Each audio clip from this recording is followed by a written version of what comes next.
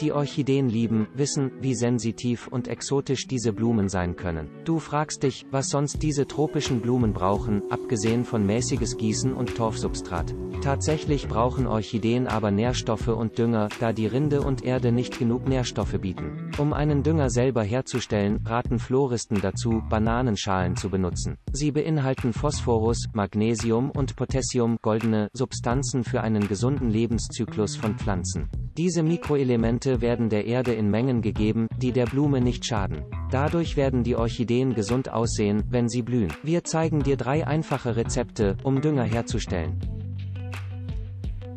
Bananentee. Erste trockne die Bananenschale in der Sonne, bis sie fest wird und zermahle sie dann.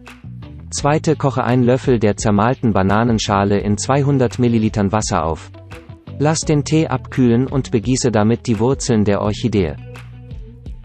Puder der Bananenschale. Erste zerschneide oder zerreiße die Bananenschale in kleine Stücke.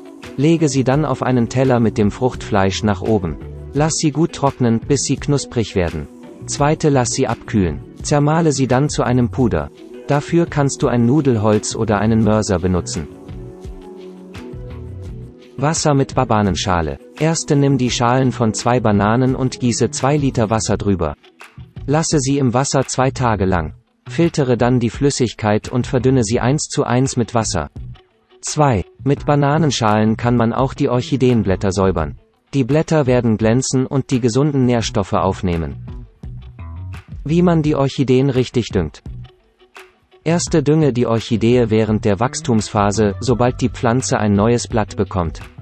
Dünge bei jedem zweiten Gießen. Nachdem ein Blatt gewachsen ist und ein weiteres Blatt wächst, kannst du weiter düngen. Wenn das Blatt nicht mehr wächst, kannst du mit dem Düngen aufhören. Zweite Dünge die Pflanze während der Blütezeit. Wichtig, dünge keine blühenden Pflanzen, die eben erst gekauft wurden. Lass die Blüten abwelken und dünge erst nach drei bis vier Monaten. 3. Im Herbst, im Winter und während der Sommerhitze wächst die Pflanze langsamer, sodass man nicht häufiger als einmal im Monat düngen sollte. 4. Kranke, schwache und umgetopfte Pflanzen sollten nicht gedüngt werden. 5. Die wichtigste Regel, es ist besser, die Orchideen weniger zu düngen, als zu viel zu düngen. Benutze diese einfachen Rezepte, um das Substrat deiner Lieblingsorchideen zu düngen und erfreue dich an einem schönen und gesunden Raum. Wenn es dir gefallen hat, like, abonniere und kommentiere unter dem Video.